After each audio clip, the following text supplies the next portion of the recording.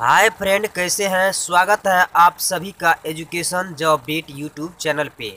बिहार में नई भर्ती सिपाही का आ गया है। बिहार पुलिस का योग्यता इंटर पास आवेदन शुरू है।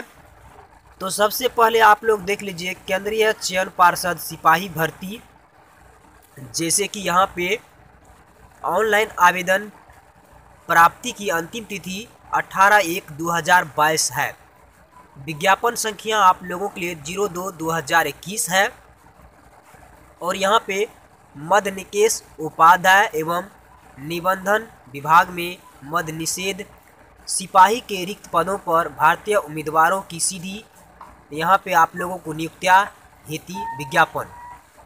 यहाँ पे आप लोग को बताया जा रहा है मद निषेध उत्पाद एवं निबंधन विभाग में मद निषेध सिपाही पद। वेतन लेवल थ्री, इक्कीस हज़ार सात सौ तिरपन हज़ार।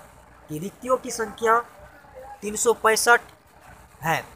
इन पदों पर नियुक्ति हेतु विज्ञापन संख्या ज़ीरो दो दो हज़ार इक्कीस, जहाँ पर आप लोगों को टेन प्लस टू इंटरमीडिएट यहाँ पे पास और आपको यहाँ पे शैक्षणिक जो योग्यता होनी चाहिए, वह भी आप लोग को दिया गया है।